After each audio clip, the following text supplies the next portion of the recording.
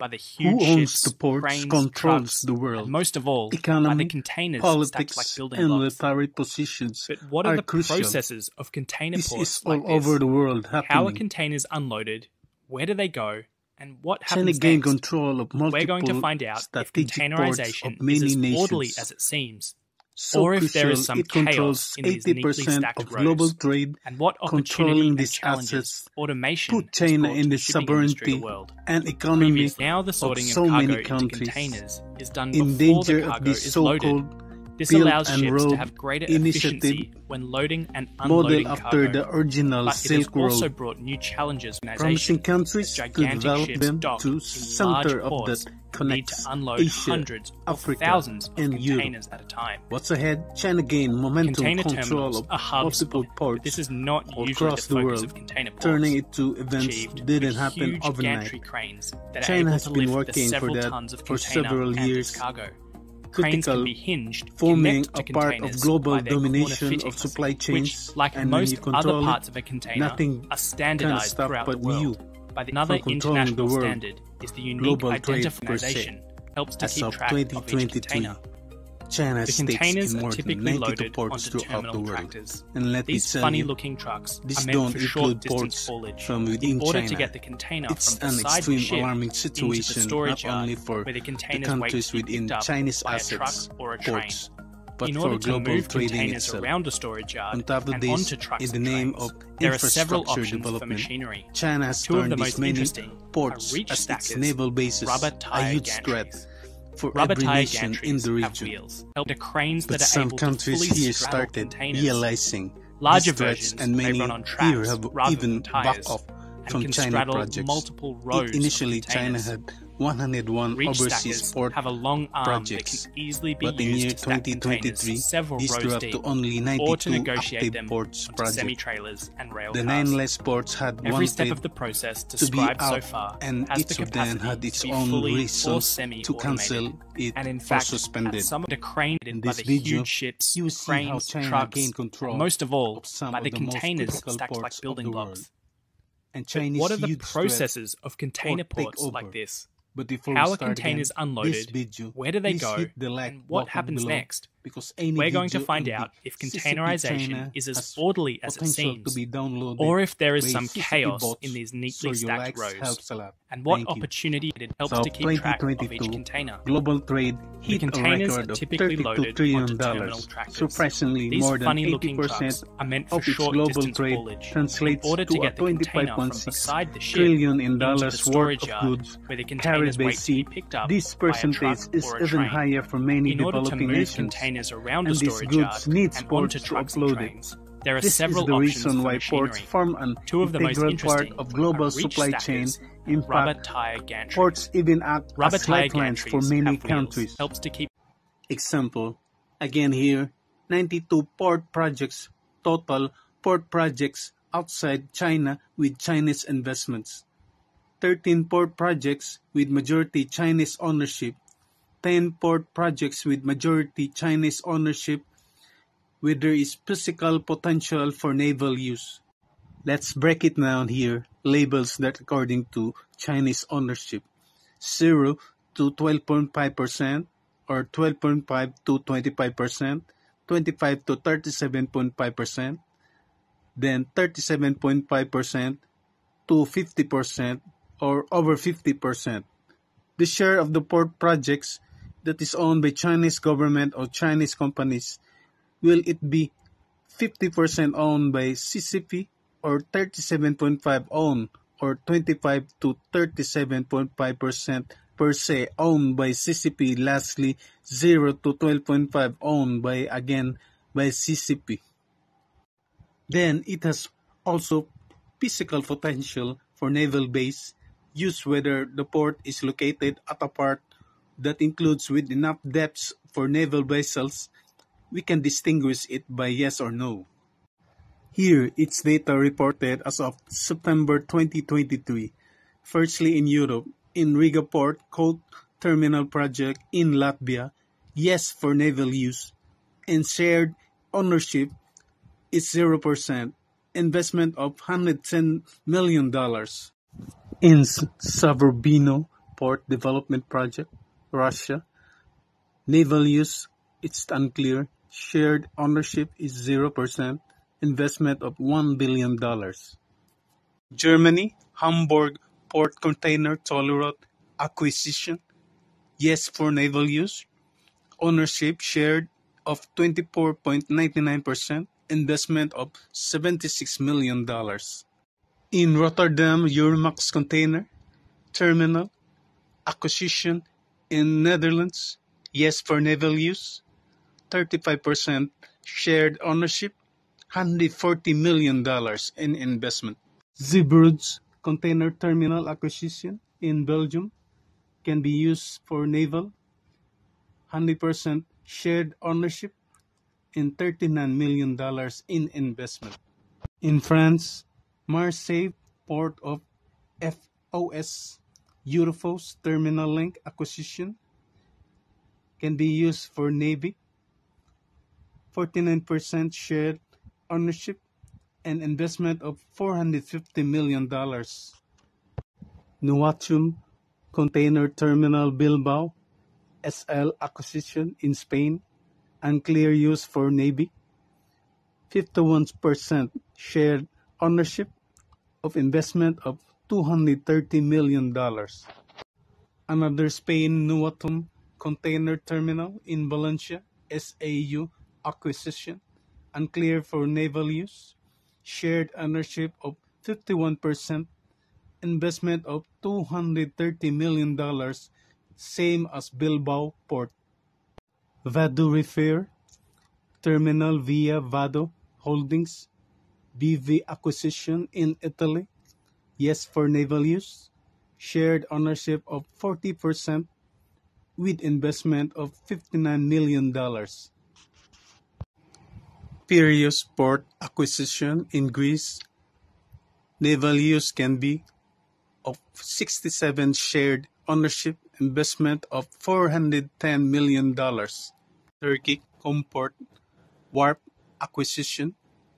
Naval use, yes, of 65% shared ownership and investment of $940 million. In Ukraine, in Chornomorsk Port Inlet Channel Dredging Project, Black Sea Port is unclear for naval use, shared ownership of 0%, investment of $15 million.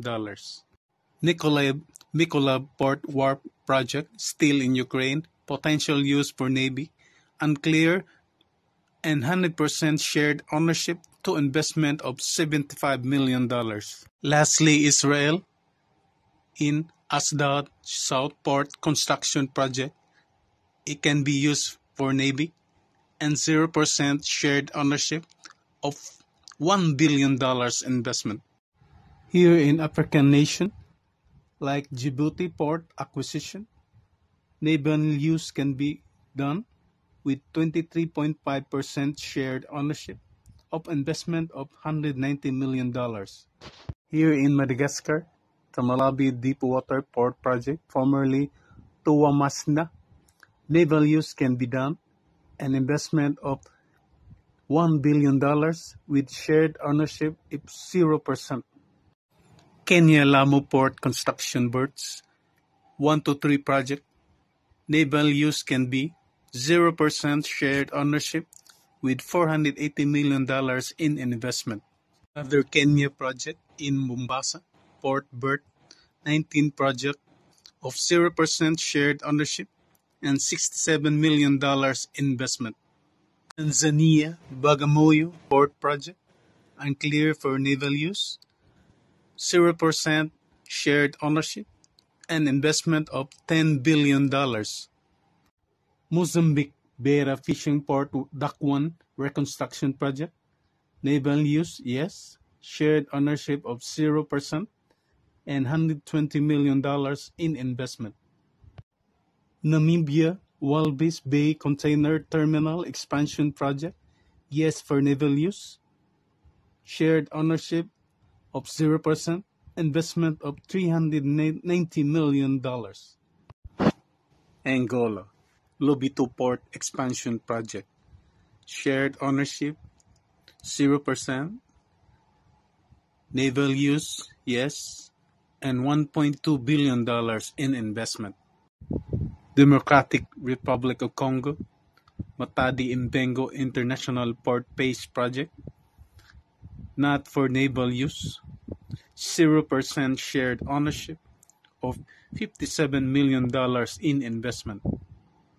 Another Angola project is in Cabinda Caio Port Project, non-naval use, 0% shared ownership of $830 million investment.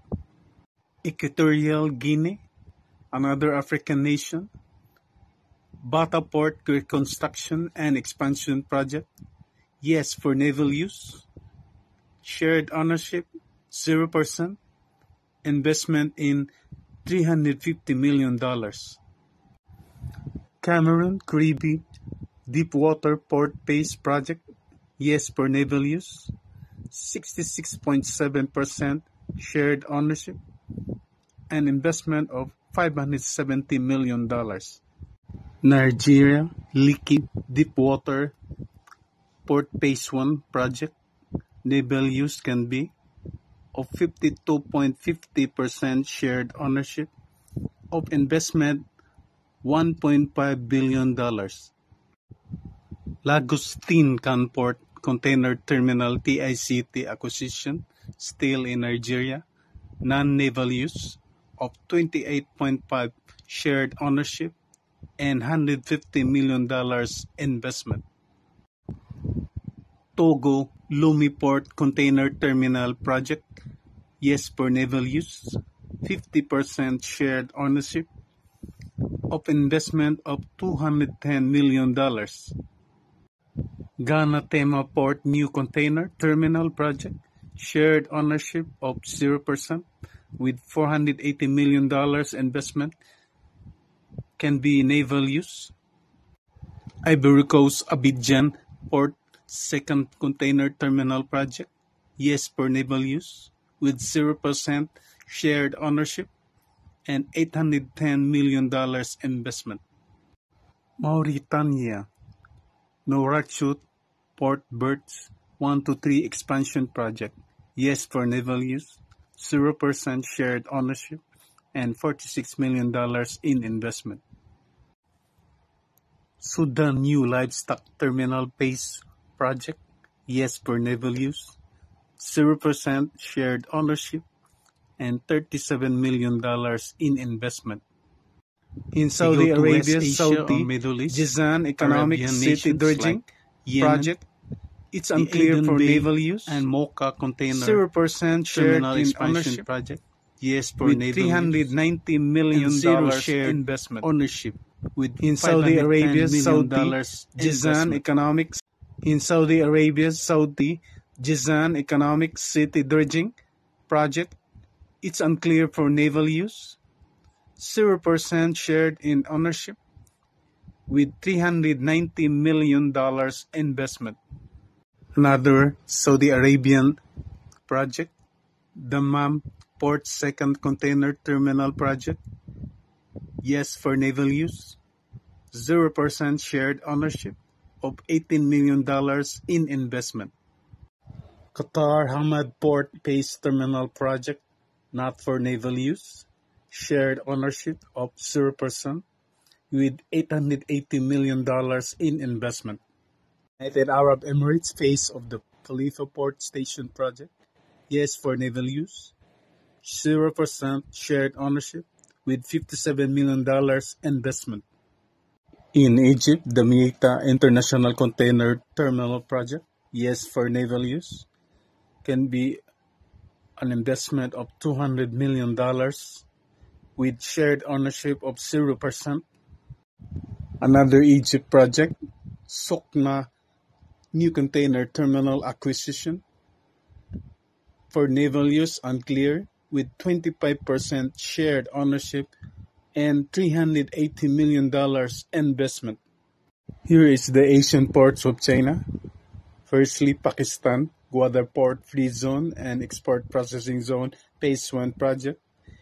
Yes for naval use, 0% shared ownership, with $32 million in investment.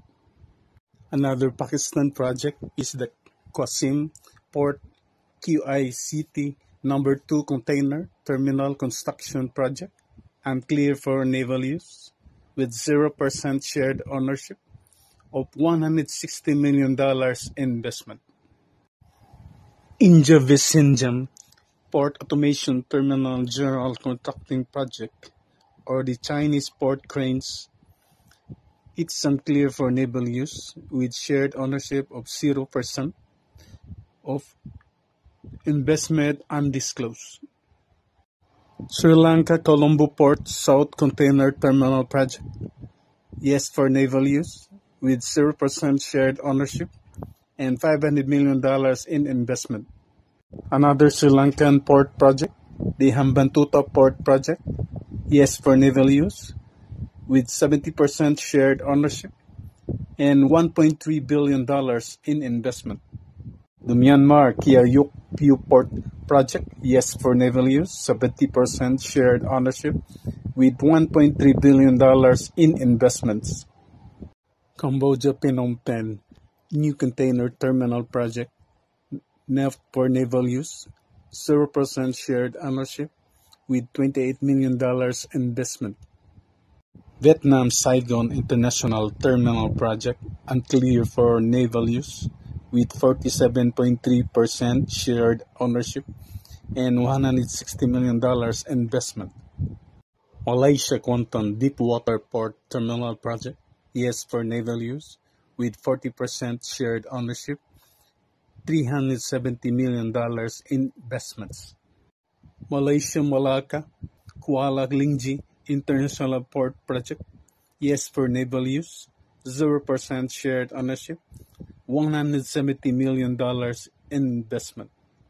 Singapore Pasir Panjang New Berth Project, naval use can be done with 49% shared ownership, investment of $2.6 billion. Philippines Manila Port Container Number 7 Berth Yard South Expansion Project can be used for Navy and 0% shared ownership, $10 million in investment. Timor-Leste Tibar Bay Port Project naval use can be done with 0% shared ownership, $940 million investment. South Korea Express Busan Container Terminal KBCT Terminal Acquisition Naval use unclear with 20% shared ownership and investment of $1.2 billion. Australia Darwin Port 99 year lease. Naval use can be done. 0% shared ownership with $360 million investment. Australia Newcastle Port acquisition. Naval use can be done with 50% shared ownership, $420 million investment. Lastly, in another Australian project, Melbourne Port 50-year lease. Yes for naval use. 0% shared ownership. $7.3 billion in investment. Papua New Guinea Lae Port Developmental Tidal Basin Phase 1 project. Unclear for naval use. 0% shared ownership. $290 million investment. And they're here in the Americas, United States of America, in Seattle, container terminals number 25, 28, 30 rental, naval use unclear, with $56 million in investment with 0% shared ownership. The Port of Los Angeles, pier rental number 100 to 102. Yes for naval use, with $110 million investment with 0% shared ownership. Bahamas North Abaco Island Port Project. It's a concession loan, 0% shared ownership, $39 million investment. Can't be done for Navy use. Mexico Tuxpan Port Container Terminal Project. Yes, can be for naval use, 0% shared ownership, $45 million investment. Mexico Port of Veracruz project $230 million investment, 0% shared ownership, naval use can be done. Panama Port of Balboa container phase 3 terminal panel and dredging project, 0% shared ownership, investment of $30 million, yes for naval use. Ecuador Posorja Deepwater Port Project, $110 million in investment, of 0% shared ownership. Naval use, yes, it can be. Peru Chancay Terminal acquisition, 60% shared ownership. Naval use, yes, can be. $230 million in investment. Chile San Antonio Pier Expansion Project, 0% shared ownership. Yes for naval use. $44 million investment. Brazil Paranagua Port Terminal TCP acquisition, $920 million in investments, 90% shared ownership, naval use can be done. China has become the world's largest trading country and the second largest economy in the world and conducts about 95% of its international trade through sea lanes. Chinese President Xi Jinping's launch of the Belt and Road Initiative in 2013 and the introduction of 21st century maritime Silk Road, which connects China to Europe and the Arctic Ocean via the South China Sea and the Indian Ocean, have supercharged China overseas port investments and construction activities. President Xi has personally emphasized the importance of ports for economic development when visiting Tieshan Port in Guangxi province in April 2017. Xi highlighted the importance of ports in economic development. We often say that to get rich, we must first build roads, but in coastal areas. To get to it, we must also first build ports.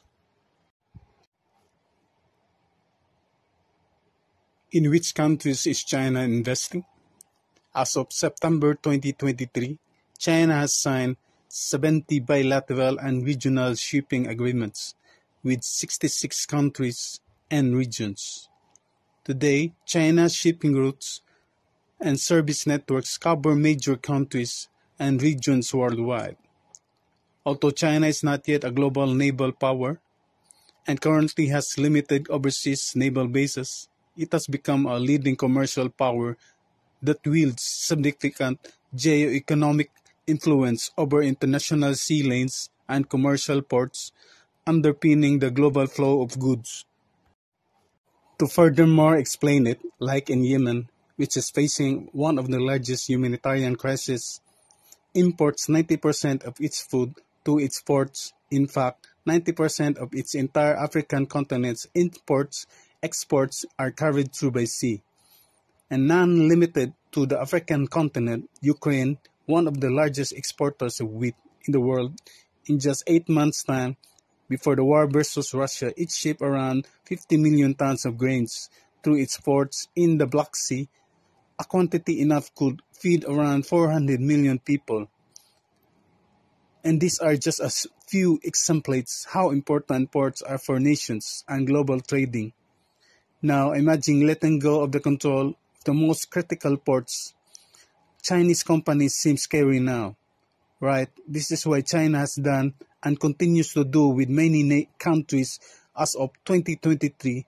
These are 92 ports with Chinese ownership, 13 of them majority owned by China, and 10 of these projects even have potential for naval military use, which means China is planning to dock its naval ships in these ports that China gains control of the ports as supported with various methods and the most popular which you may guess through the words of John Adams, American statesman, he states, There are two ways to conquer and enslave a nation. One is by the sword and others by death, meaning China is precisely done the inevitable consequences for those nations. For the Belt and Road Initiative, and famously known for lending heavily to countries, especially the developing and underdeveloped ones, for infrastructure projects, with certain nation fails to pay the loans, the Chinese companies will take over and control strategic assets in that nation. And one of the notorious cases is what China has been doing in Sri Lanka. For China literally forces Sri Lanka to surrender a strategically located 4,000 acres of port in the Indian Ocean region, along with 15,000 acres of surrounding land China dreamed of claiming such critical spot in the Indian Ocean. It would have been a dream without the Sri Lankan president and other few politicians. This is a story of greed, power, and dominance.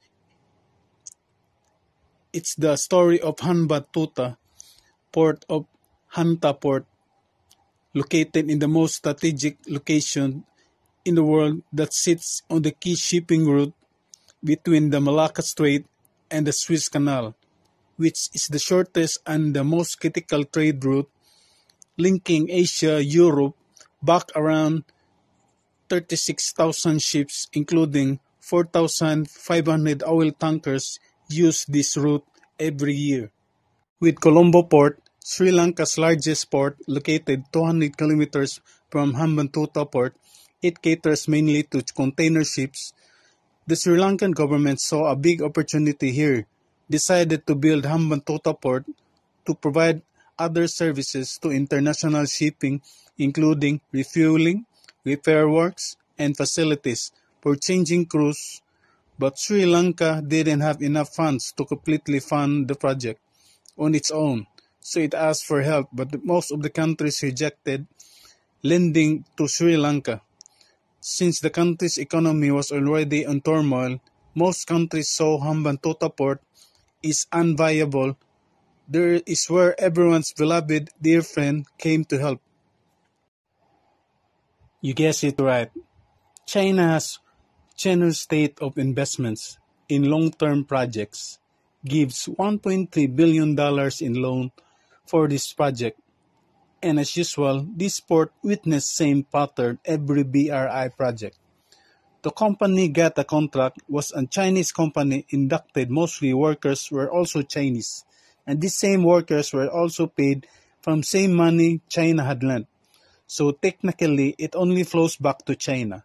It, if we talk about 80% of funds around $1.3 billion required for this project were lent by China and the remaining 15% given to SLPA or the Sri Lanka Ports Authority, making the project an overall $1.5 billion. The construction was carried out by China Harbor Engineering Company and the Sino Hydro Corporation, both which are Chinese companies.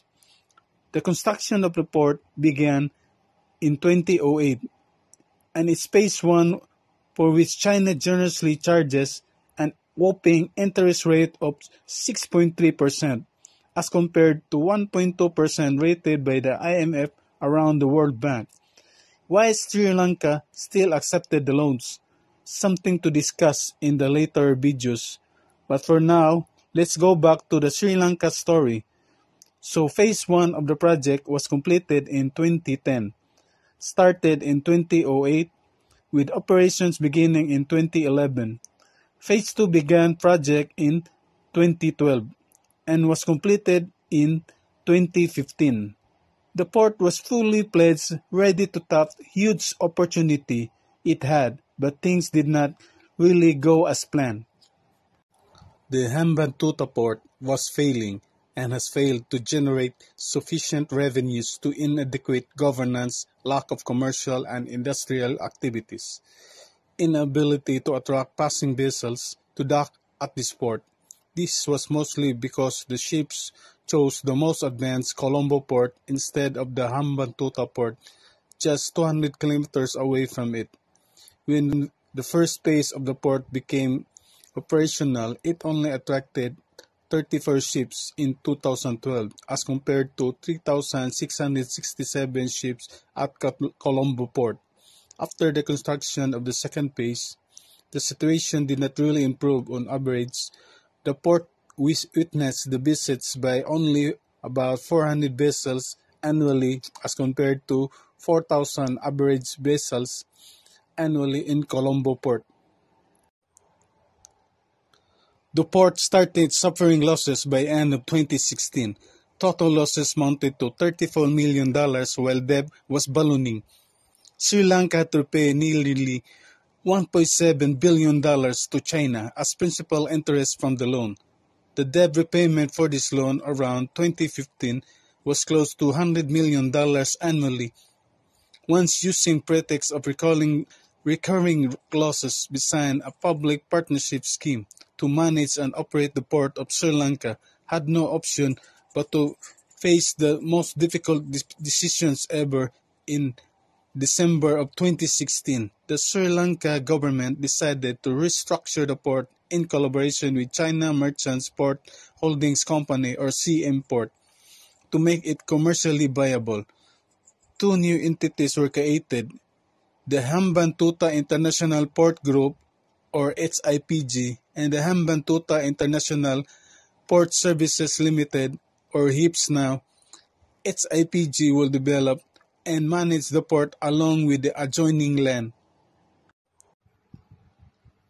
while HIPS operates the port services. China's entity Port invested $1.2 billion for acquisition of an 85% stake in its IPG and 52% stake in HIPS, while the remaining stakes given to the Sri Lankan Port Authority.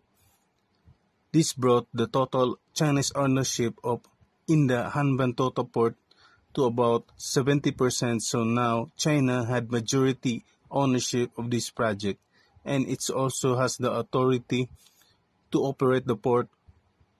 But how many years is it? 10, 20 or 30 years? Well, none of these China lease the port for 99 years. Yeah, you heard it, 99 years.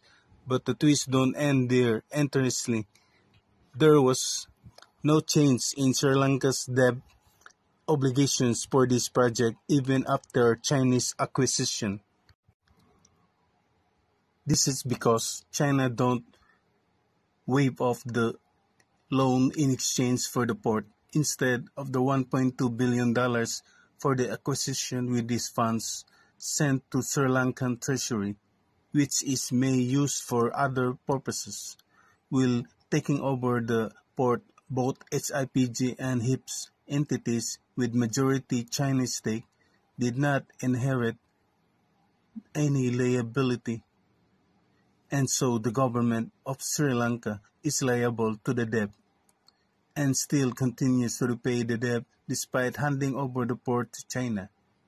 And this is how China gained control over strategic port for not only 10, 20, but 99 years. By that one, one wonder during all the chaos wasn't the Sri Lankan president, president or leadership aware of this Chinese tactics, and there was none one other person responsible for all of this in his under his lead from 2005 to 2015 the country's debt increased threefold from 15 billion to 44.8 billion dollars this is where one of China's scheme strategies come into play. That is to bribe the decision makers and make sure they stay in power as long as possible. In the case of Sri Lankan, China briefed the leadership to such an extent the president of Sri Lanka was literally called a puppet of China. Every major decision he took was heavily influenced by China. This man had stayed in power 10 years, destroyed Sri Lanka's economy, was none other than Mahinda Rajapaksa. Look invisible in his grip on power was absolute. He controlled the parliament. His family controlled 75% of nation's budget during Rajapaksa's regime. He and his three brothers controlled many government ministries and around 80% of total government spending, so it became easy for China to bribe them and get things done in favor of Chinese interests. China influence grew so that entities from China got the work done without any hassle and at exorbitant prices because during the construction of Hambantota port, there was a large boulder partially blocked the entrance and prevented large ships like oil tankers from entering the port. But during construction, there was not any taken into consideration. The port was built in 2010 on Rogo's birthday. The port was opened for ships despite nothing done on the boulder. Only a year later, China Harbor blasted the boulder, but it was fishy, and the cost of blasting this boulder, China Harbor charged astonishingly $40 million to do this job. In fact, give rise to speculations whether the company was overcharging or this price tag included kickbacks to Rajapaksa. In another case, Raja approved an international airport named Mattala Rajapaksa International Airport, which financed by China Exim Bank. This project bound to fail because just $6,000 was spent on airport's feasibility study, but more than $80,000 just spent on lavish ceremony including dancers, singers to prematurely Hambantota port on Rajapaksa's birthday. This shows his dedication to China, and well, China didn't stop here. It also influenced the elections according to investigation during 2015 in Sri Lankan election. Large payments from Chinese port construction fund flowed directly to campaign aids and ads and activities for Rajapaksa's party.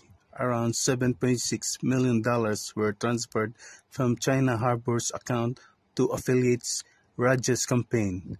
As we saw, China Harbor is the same company that built Hambantota port.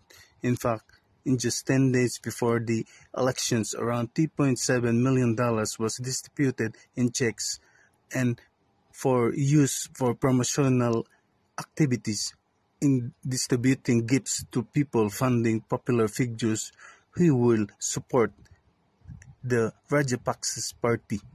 And guess what most of the payments were made from a sub-account controlled by none other than China Harbor.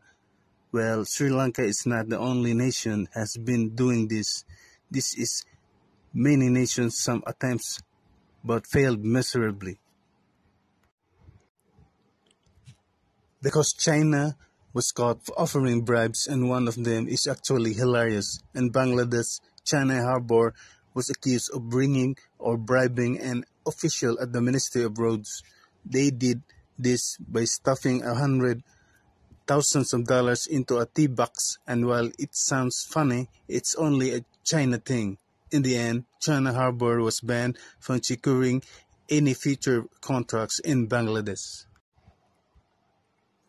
The second incident took place in 2009 in my native country, the Philippines, where China Harbor's parent company China Communications Construction Company was banned for eight years for, from bidding on World Bank projects because of corrupt practices. Coming back to Sri Lanka's story, Mahinda Rajapaksa put Sri Lanka's economy in a fragile situation with anti-Chinese, anti-Rajapaksa sentiments extremely high. The opposition leader Maithripala Sirisena won the election because he promised to kick China out of the country and cancel many Chinese projects. As he promised, he canceled many Chinese projects and tried to bring Sri Lanka on track. But the damage was already too high, which not only became concern for China's biggest rival in the region, India. On the 16th of August 2022, a Chinese ship Yuan Wang 5 entered the Hambantota port. Sri Lanka and China referred to this ship as a scientific research ship. Then, while the USA and India became extremely cautious after this move, this ship was operated by PLA Strategic Support Force and used it for military purposes. Despite being registered as Marine Scientific Research Vessel, later it turned out to be a track satellites and missiles ship with a range of 750 kilometers, which means it had the ability to track activities in the multiple Indian states in the south. Later, other Chinese ships and submarines were also welcomed by Sri Lanka in Hambantota port. So China has gained two crucial advantages to this port. One, it has gotten access to one of the most critical ports in the Indian Ocean region, very near to the most critical trade route, the route of the Suez Canal and the Malacca Strait. This is because 80% of China's entire oil supply are roughly 90% overall Chinese trade passes through Malacca Strait, which China always fears that India might block the Malacca Strait choke point in case of a conflict if it, this happens, you can just imagine the situation in China. This is the reason China has taken a lot of steps to safeguard its oil supplies. One of which is the Hambantota port. Number two, this port become a key port of China's strings of pearl strategy, a network of ports and military infrastructure. China is building to encircle its biggest rival in the Indian Ocean region India, Hambantota Port is one of the closest points being located just a few hundred kilometers from India. Though times are changing with USA and China taking multiple steps to beating China in the Indian Ocean region. See here, just take a look how China used the debt strategy for another country not far from Sri Lanka, where they repeated the same thing. The nation was on the verge of bankruptcy. No one was ready to fund big amounts of their infrastructure projects, so China lent them a huge amount of money. As usual, they failed to repay, repay and had no choice but to hand over their assets to China, including a strategically located port 40 years. Imagine 40 years this country, not other than Pakistan. Since gaining independence, Pakistan has been extremely unstable politically. Sometimes the head of state is an elected leader, sometimes it's a military general who snatched from power with a military coup. This instability became a major reason why no companies are willing to invest significantly in Pakistan. In this power struggle, Pakistani's economy went down for a loss. It faced bankruptcy several times and so it approached the IMF for bailout packages but found not for not for two but 12 times to no avail rejected to it received funds they were meant for Pakistan's survival not to spend on expensive infrastructure projects Pakistan was not able to spend on its infrastructure development. Then China was paying attention and they saw a huge opportunity in Sri Lanka, the troubled nation, in 2015. It came with a massive regional connectivity project called CPEC or China Pakistani Economic Corridor, which is part of China's BRI or the Belt and Road Initiative. Initially, CPEC had projects worth $46 billion, but as of 2017 has increased to $62 billion. Imagine that. With these numbers still expected to increase, these numbers look really good on paper, but as you know, the contracting companies were Chinese again. Their workers were Chinese, and once again, most of the money went to back to China. In 2002, China Harbor Construction Company built Phase 1 on the Gwadar port at a cost of $248 million, completing it in 2006. The estimated cost of the second phase was $840 million, with most of the funding coming from China. This is a narrative thinking a Chinese company took the port on lease right. Actually, no, in fact, you'd be surprised to know that in 2007, Pakistan granted the management of this port to PSA or Port of Singapore Authority for a period of 40 years. Not just according to the agreement, the PSA also agreed to invest $550 million during the next five years for the port development. The Gwadar Port Authority was all set to receive 9% from cargo operations, marine services, and 15% from Gwadar Free Zone business. Even many import duties and taxes was waived off, so it was a win-win situation for everyone. The Chinese influence was countered. Pakistan's got funds for, to develop a port and also a business alongside.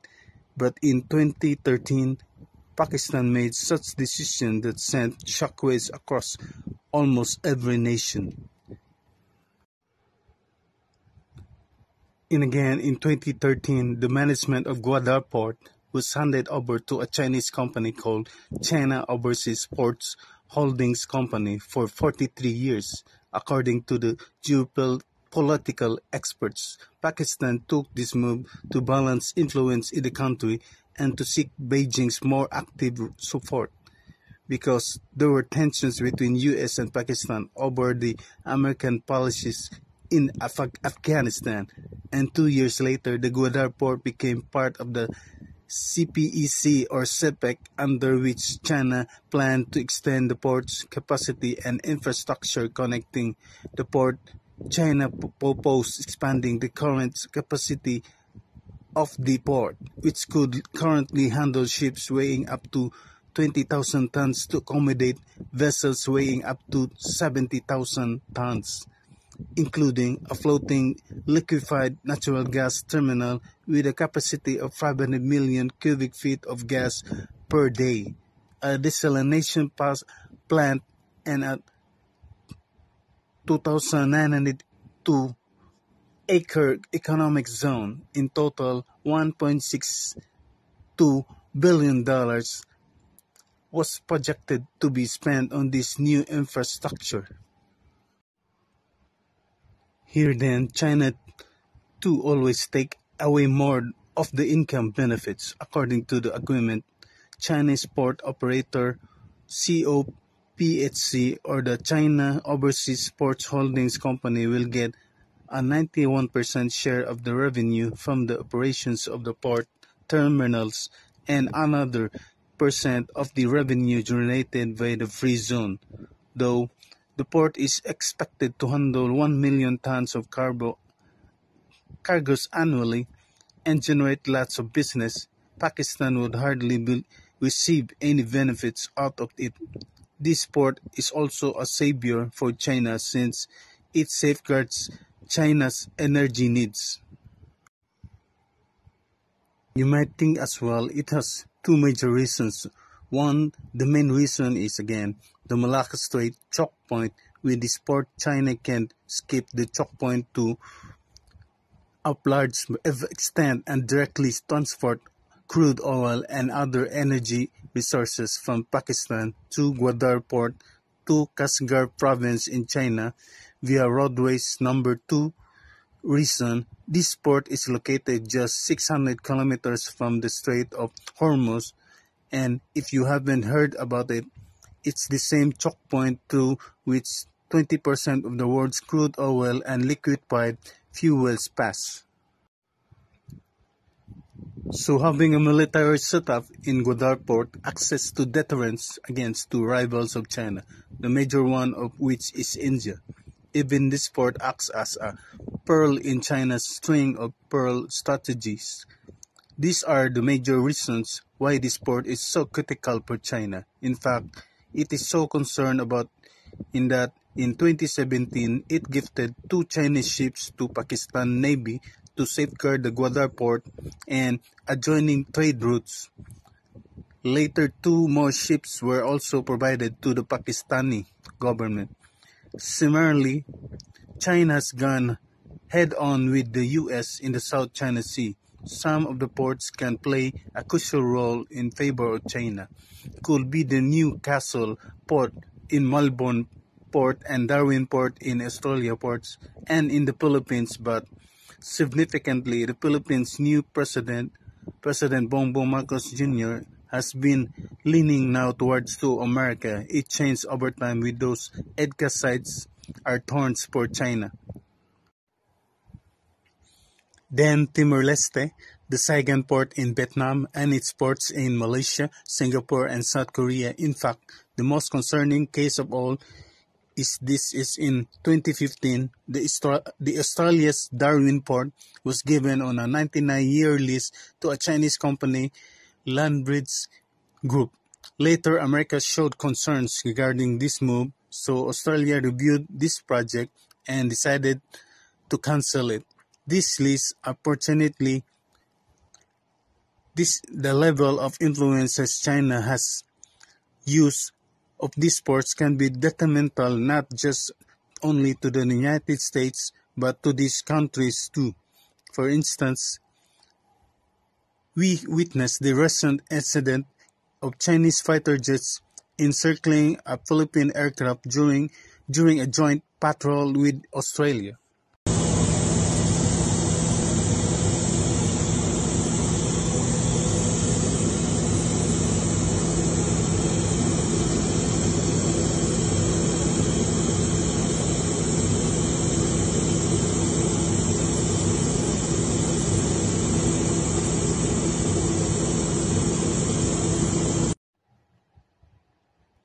China regularly keeps bullying smaller countries in some way, another coming back to the other ports. On the Asian continent, along with all these ports, China has either has stakes or handles ports operations in 10 more countries that include Papua New Guinea, North Korea, Russia, Bangladesh, Myanmar, the UAE, Qatar, and Saudi Arabia, Yemen, Israel, and Turkey, with these Chinese investments ranging anywhere between $30 million to more than a billion dollars. Similarly, in the case of African continent, China has investments in not one, not 10, but over 24 ports across more than 10 countries. The most concerning aspect of these ports is that some of them are very close to and located to the world's most crucial choke points, the Strait of Hormuz and, and the Bab al-Mandab Strait. As you know, 30 to 35% of the world's crude oil passes through this choke point, so China clearly is a threat to the world. And you may ask if China has is such a huge threat to the sovereignty of its borrowers if China has and still relentlessly distributing loans to debt-trapped countries with so many infamous cases of debt trap out there. Why are countries still keep on borrowing from China? In fact, many countries have ditched the IMF and the World Bank and borrowed from Chinese banks.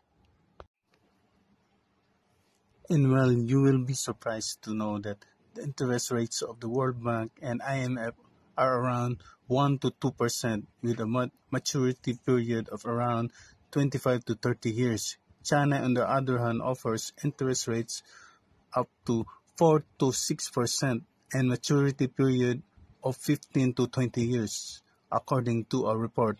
China lent around $1.4 trillion between 2000 and 2021 to more than 165 countries especially low middle income countries. China is so cunning that they initially lend for infrastructure projects and when the borrower of the said countries struggle to repay these loans and need emergency rescue loans, guess who offer these loans to lend? So ironically, China has first offered huge infrastructure loans to poor countries and came again with a rescue loan just because they were struggling to repay them.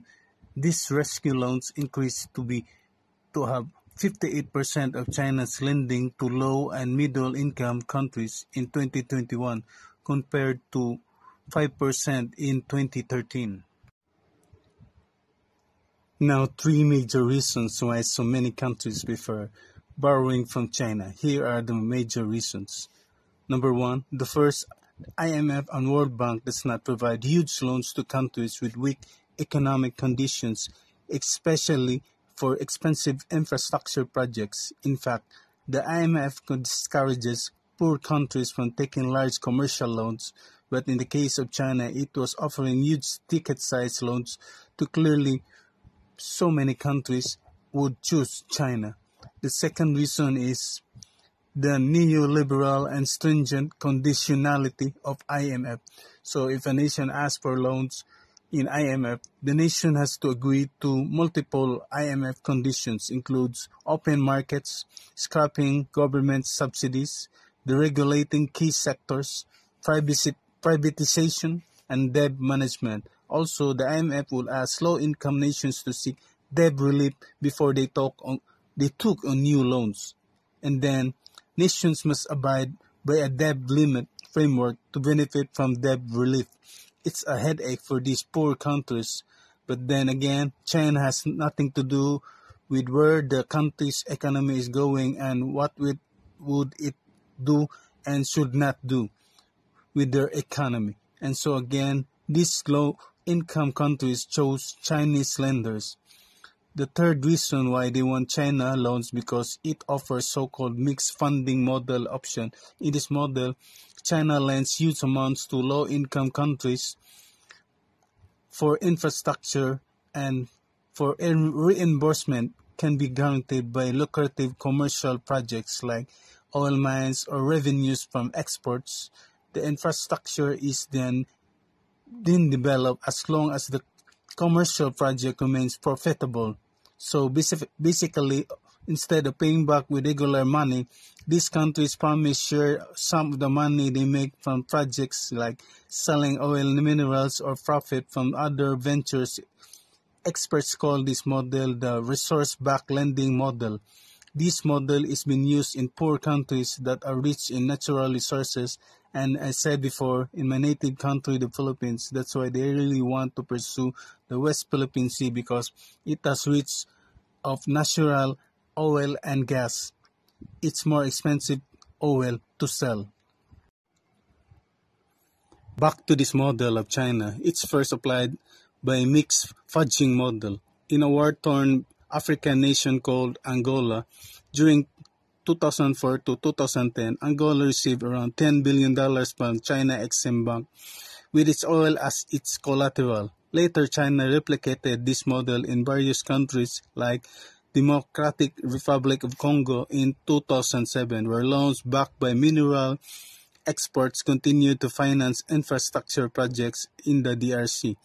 New Guinea in 2017, the two entered into a bauxite-backed financing agreement with Industrial and Commercial Bank of China, Exim, China Exim Bank, for $587 million for its two ROD projects. In fact, projects up to $30 billion had been signed in several African countries under this model.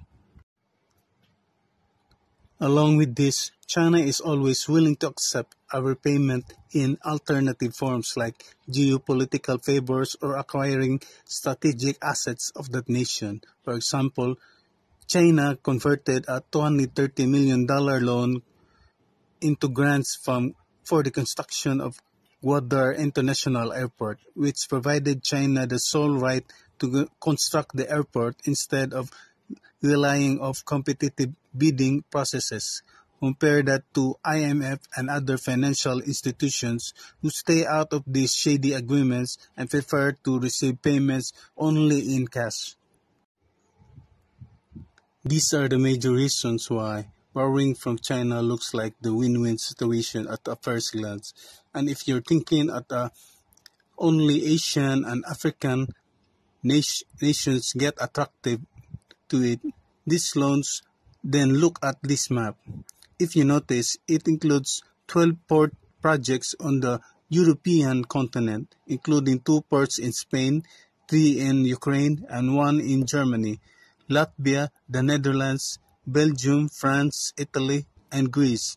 All these ports handle about 10% of Europe's shipping container capacity.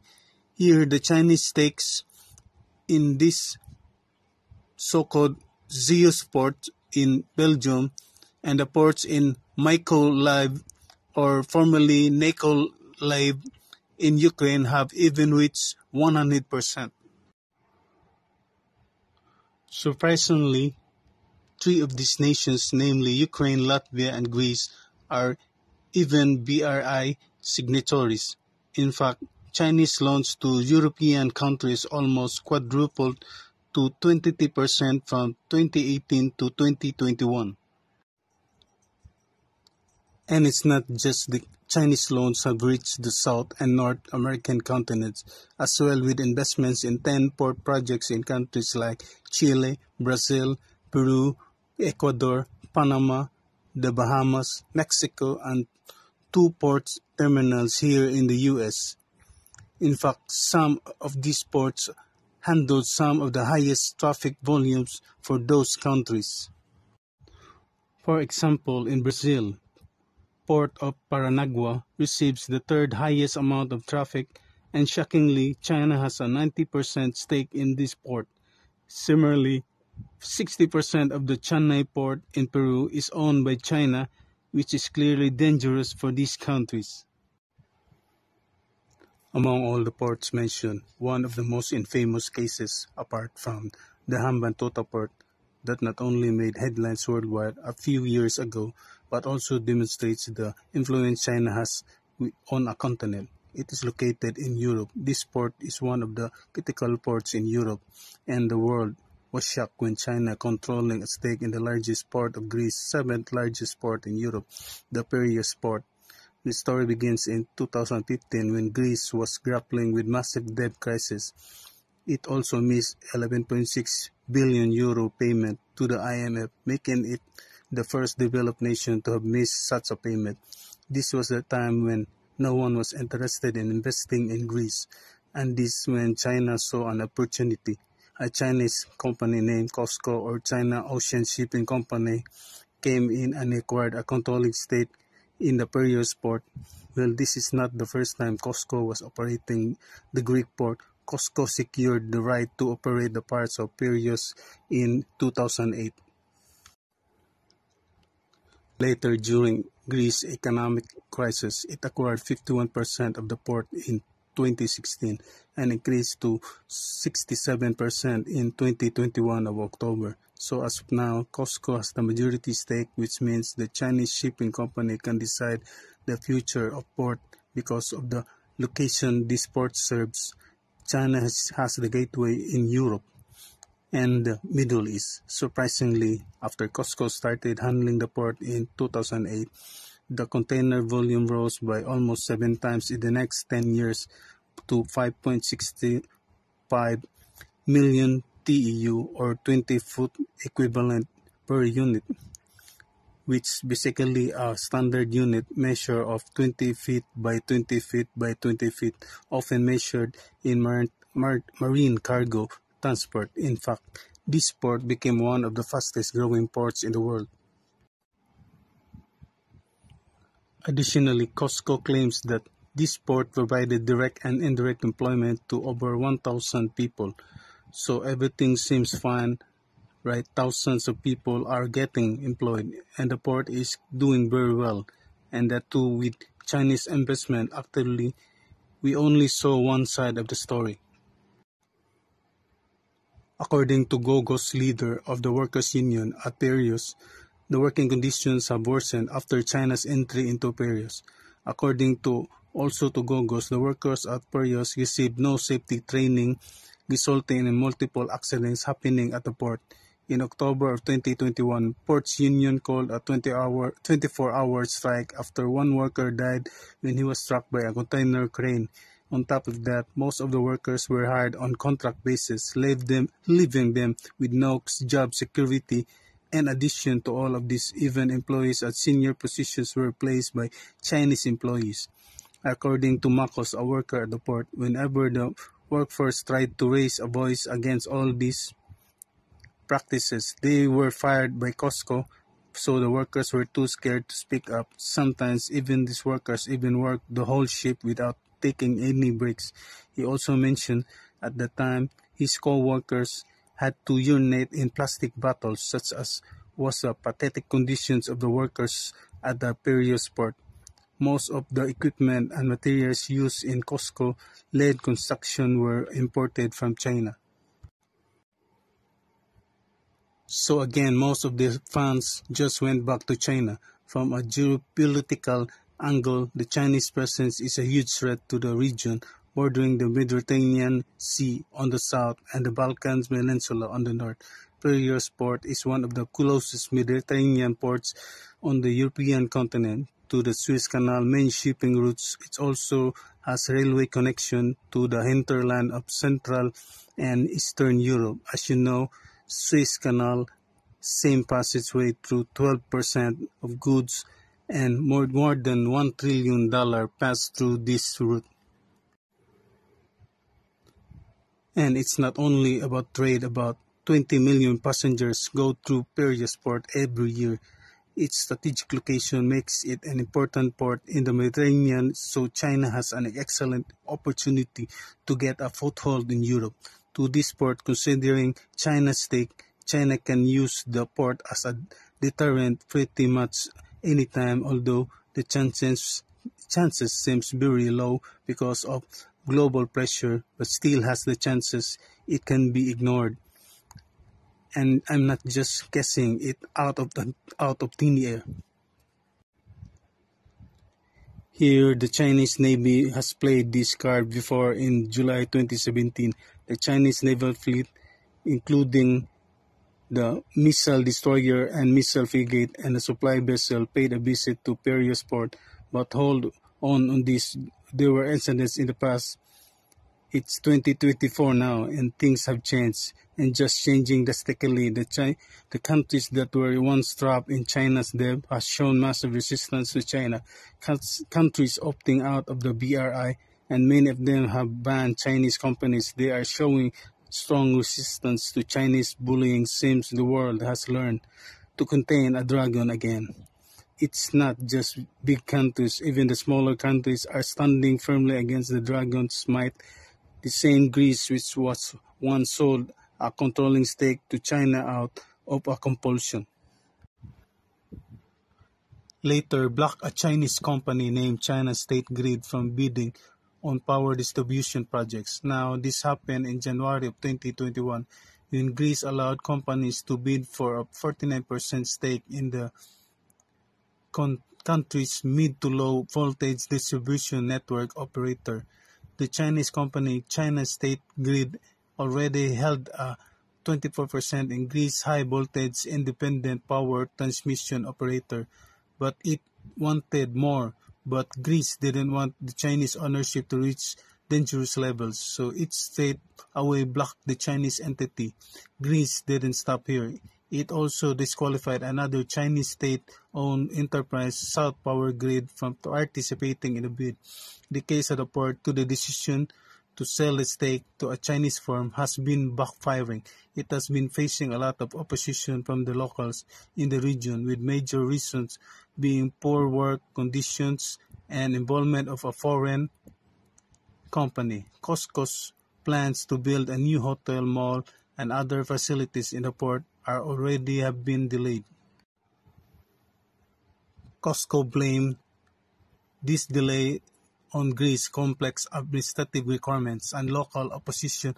On the other hand, according to Greece, the expansion has been delayed because Greece refused to accept the environmental studies provided by COSCO, calling them insufficient.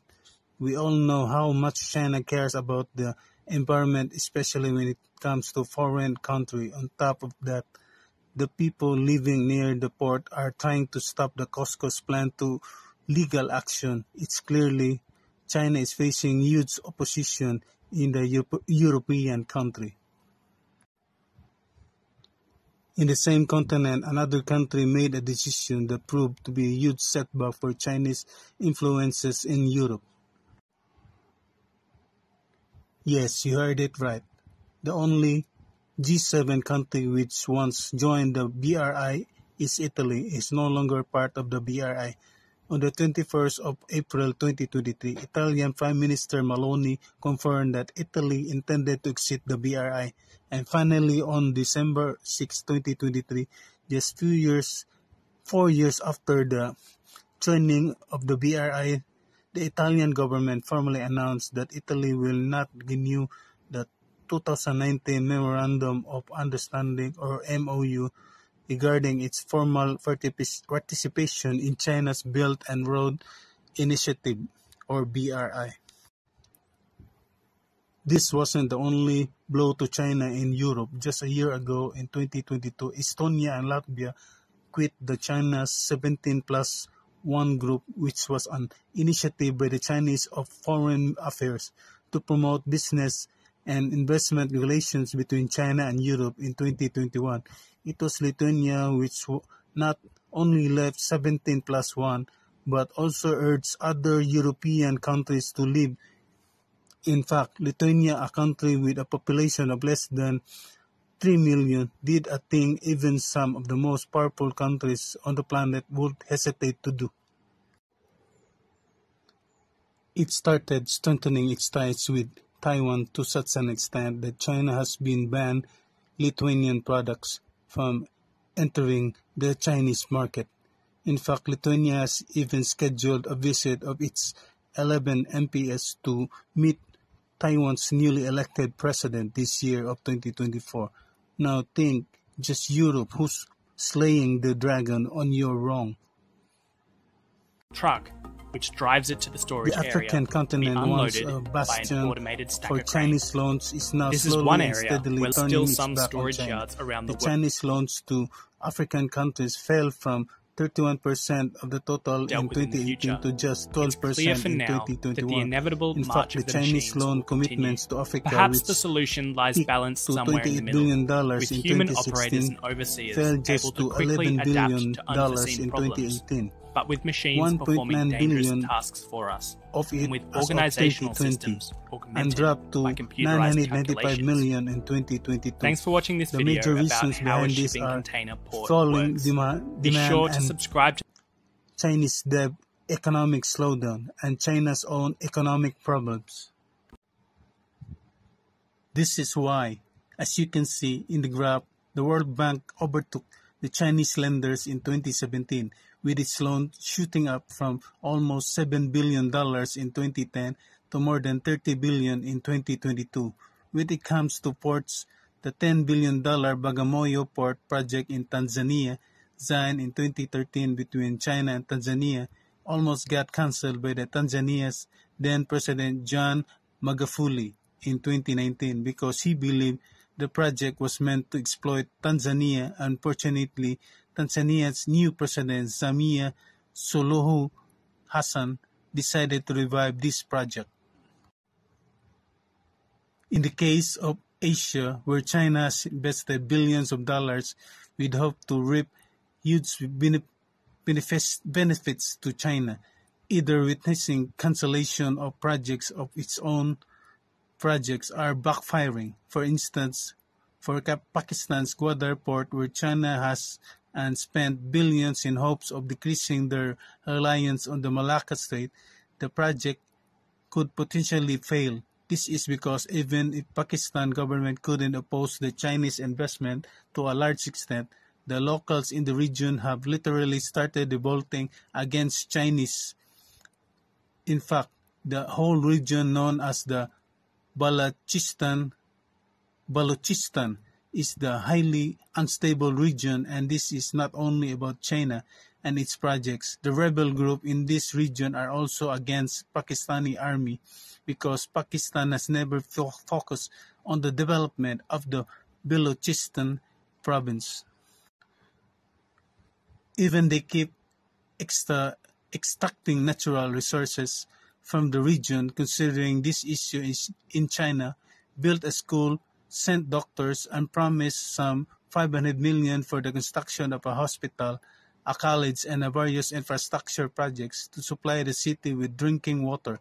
Pakistan even deployed around 12,000 soldiers to protect the Chinese workers, but still attacks have not stopped on the Pakistani army or the workers involved on various infrastructure projects linked to the CPC. Another reason why this port could fail because it passes through Kashmir, another highly unstable region. This region is also claimed by India, who allied, allied with Pakistan's presence with illegal eh, occupation, according to military experts. India could potentially recapture this region very soon, cutting off China's access. If this happens, China's billions of dollars might go in vain. Moving our focus to Myanmar, China planned to build the Kwangpyo port at a cost of $7 billion, but later Myanmar itself decreased amount to $1.3 billion. China's investment in the project was reduced because Myanmar was aware of Chinese debt traps and they didn't want to fall for it. It even so, Myanmar took $1.3 billion because economy was already weak and it really no other options but this incident indicates that countries are becoming aware of these Chinese debt traps.